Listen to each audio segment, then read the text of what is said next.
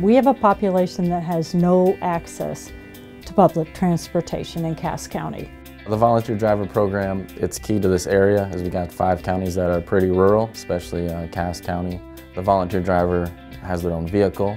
Uh, there's no volunteer driver special vehicles or buses that they take. I'm a volunteer at heart, I think. Um, I have met the most fantastic people in the world, both as clients that I pick up and people that I work with who are part of the board and the Office of Faith in Action. A couple days after Thanksgiving, I was in a head-on collision. My car got totaled. I got put in an ambulance, taken to Brainerd. Um, I have injuries. I called Faith in Action, and they helped me to my appointments. They're more than just driving us places. They actually listen, and they're you know head on to cry on, and they give you hugs when they leave, and it makes it feel like it's another family. Medical appointments, groceries, um, just trying to get out from where they are rural, kind of alone and isolated back out into the, the general population. And I think it, it gives us more freedom.